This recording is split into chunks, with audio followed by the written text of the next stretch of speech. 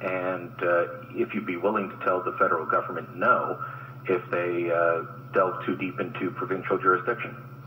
Well, I think we've been pretty clear. Uh, we're pretty passionate, all the premiers, about the federal government jumping into the provincial jurisdiction, uh, and they, they understand that.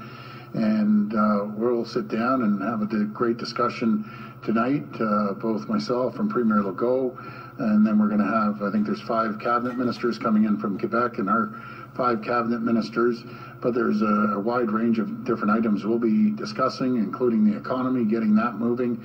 Uh, but I've always said right from the beginning, and I mentioned this to the Prime Minister, uh, Deputy Prime Minister, like I said, I had a good conversation yesterday and very frequently with the Deputy Prime Minister. Uh, let's focus on the things uh, we can agree on. Uh, there's going to be a lot of things we can't agree on. It's very simple.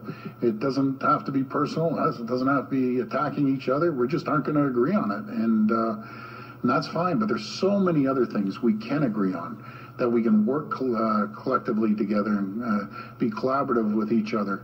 And I, I think that outweighs the, the, the negatives. So we're going to have a great discussion.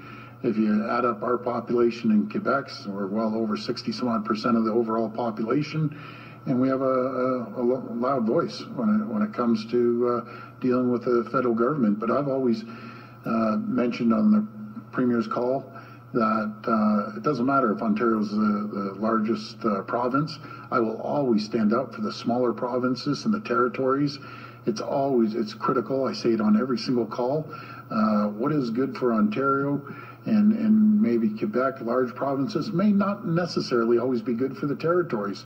Each territory has about 30,000 people. Um, and other smaller uh, regions, the provinces, but I'll always have their backs. I'll always stand up for them, and uh, we'll work together, which we have. We have a really good group, and uh, Premier Francois Legault will be the chair of COF uh, moving forward.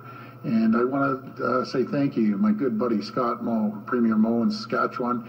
Uh, he's a champion. Man, he, he's done an incredible job for the last year. So thank you, uh, Scott. Last question.